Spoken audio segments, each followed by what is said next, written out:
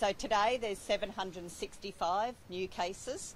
Uh, that makes 2,147 active cases currently, and I can confirm that 151 of our total active cases uh, have been confirmed as Omicron.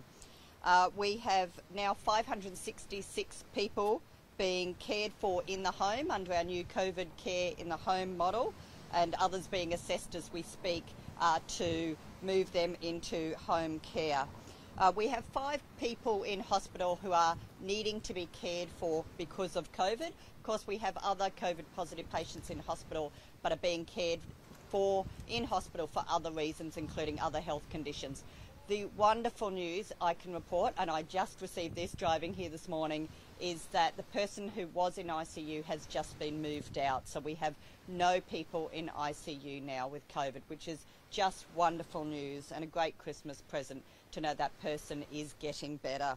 Uh, we did 33,971 tests in the last 24 hours, so thank you, Queenslanders, for continuing to come out and get tested. And uh, we have uh, now hit 90.36% uh, first doses and 85.88% second doses. So we are getting close to that 90% double vaccination rate. And of course, if you are eligible for your booster, please come forward. There are many, many community pharmacies open. We have GPs over the Christmas period, and of course, vaccination centres. So continue to come out and get your booster shots and also your first and second jabs if you haven't already. Um, we only have 650 uh, people who are formally in quarantine, which is in fact much smaller than we've had in the past, and that shows the changes around the rule of casual versus close contact. Uh, but we thank those 650 people who are in quarantine, uh, who are probably missing time with family and friends today. Uh, we know it's difficult, but we are so grateful uh, for what you are doing. And I just want to reinforce all those people interstate who have done the right thing and got their PCR tests. Late yesterday afternoon, I was told of just one story. Three young people coming up to be with families in Queensland on Christmas Day. They were all due to arrive last night on Christmas Eve, but were waiting for their PCR test. Two of those three have tested positive, uh, and they're awaiting the results of the third. Now, at least one of these young people were going to be joining a big family gathering today of 25 to 30 family members at least one of those family members is over the age of 90, and another one is a newborn baby only days old.